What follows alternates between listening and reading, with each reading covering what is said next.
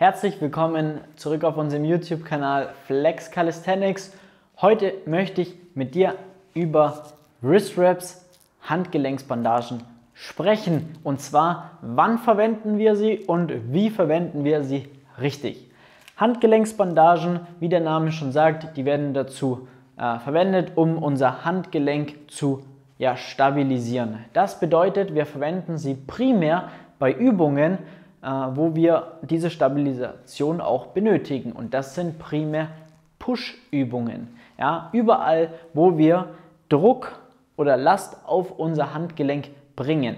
Das sind zum Beispiel Liegestütze, Handstand, Pike Push-Ups, Dips, Ringdips und so weiter und so fort. Du merkst schon, überall, wo du irgendwie auf, auf irgendeine Art und Weise ja, auf deinen Händen aufstützt, ja, da brauchen wir das, ja, die Wrist Wraps, beziehungsweise da kann man sie verwenden.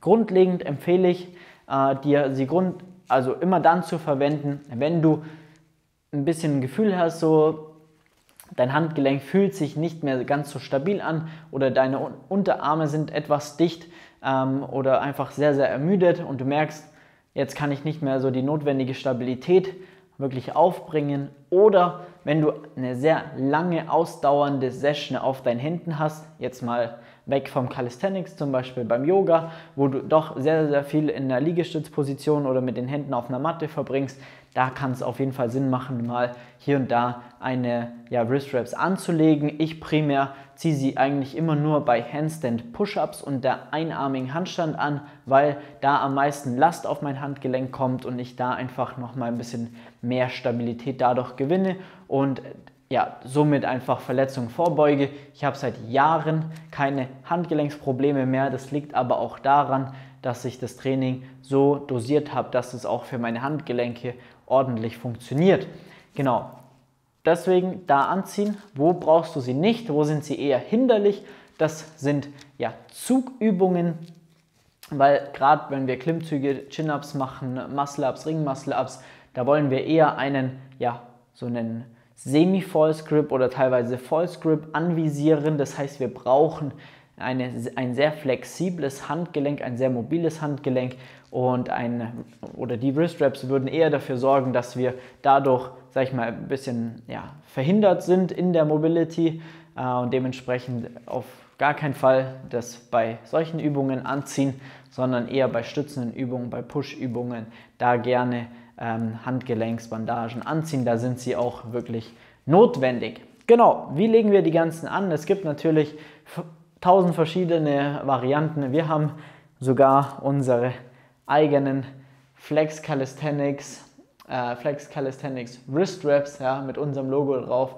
Äh, die kriegt jeder Klient bei uns und Klientin kriegen ihre eigenen Wrist Wraps bei uns. Und äh, ja, wie legen wir die an? Wir gehen hier, also das ist jetzt mein, mein Lieblingsanwendungsbereich, ich gehe mit dem Daumen hier durch, ja, dann wickel ich ja, über den Handrücken rüber, zack, zieh dann nach Bedarf zu, mach's fest, ja, und dann nehme ich diese Schlaufe hier und schlupf hier noch rein, damit ich einfach keine, ja, meine Handfläche einfach frei habe, was mir sehr, sehr gut gefällt, einfach bei Push-Übungen, weil ich dann einfach noch ein besseres Gefühl habe. Und äh, ja, grundlegend ist noch zu erwähnen, dass die Handgelenksbandagen auch wirklich über das Handgelenk äh, gewickelt werden sollten. Das heißt, wenn sie irgendwo nur hier über den Unterarm gewickelt werden, dann unterstützt es mich nicht wirklich ja, in meinem Handgelenk, sondern wenn ich da dementsprechendes verwende, dann möchte ich es auch wirklich über hier über das Handgelenk drüber wickeln, damit ich dann auch wirklich eine Stabilität darin bekomme. Die, ja, man kann da immer das Ganze etwas dosieren. Je weiter vorne, desto unterstützender ist es natürlich. Je weiter nach hinten, da geht es dann wirklich um Zentimeter und Gefühlssache. Äh, da kann ich dann definitiv etwas weiter nach hinten äh, rollen immer ein bisschen unterschiedlich. Ich habe es immer ganz gern bei dem einarmigen Handstand zum Beispiel, äh, die Bandage ein bisschen weiter hinten zu haben, damit ich grundlegend äh, maximalen Bewegungsfreiraum habe, aber in der Endposition unterstützt bin. Bei den Handstand Push-Ups, da nehme ich es eher ein bisschen weiter nach vorne, damit ich einfach sehr stabil im Handgelenk bin. Genau. Ich hoffe, das hat dir äh, ja, gefallen, beziehungsweise es hat dir weitergeholfen, das Video, damit du auch weißt, wie, wann soll ich äh, Wrist Wraps verwenden.